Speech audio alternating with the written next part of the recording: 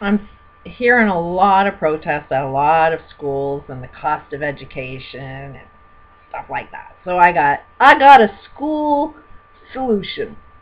Have you ever kind of noticed that the only thing that you're going to school for is to get a job, to work for a big corporation, or to be a lawyer or a judge or a politician?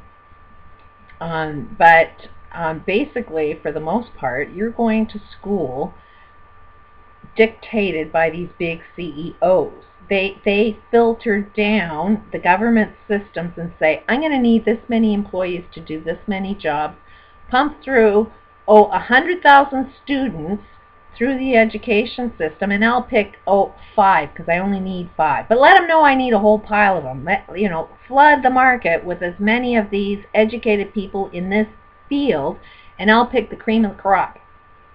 So you know, 90%, if they're only going to hire, you know, 5%, 95% are stuck with student loans and can't get a friggin' job and you're working at friggin' McDonald's, which is the corporate world there again. It's like they get you coming and going. They pick the cream of the crop for what they want and the rest of them, well, you'll do our slave labor for us. And in the meantime, you're paying for all your student loans.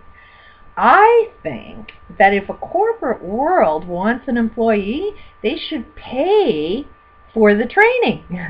they should pay for the education that you require.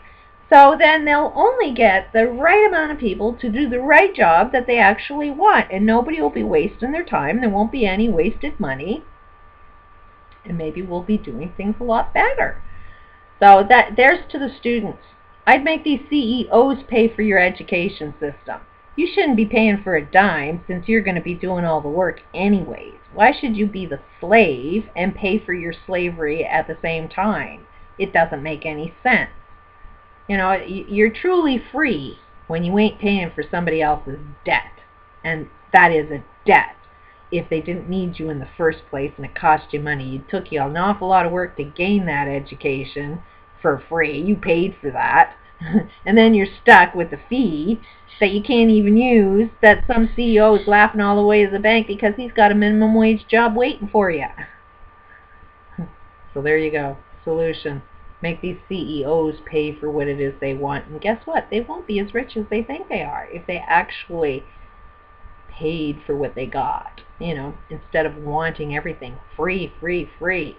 You know, have you ever noticed that as soon as you're really, really wealthy and really, really famous, all of a sudden you don't have to pay for anything? Everybody's willing to give you everything for free. And you make a ton of money at it, too.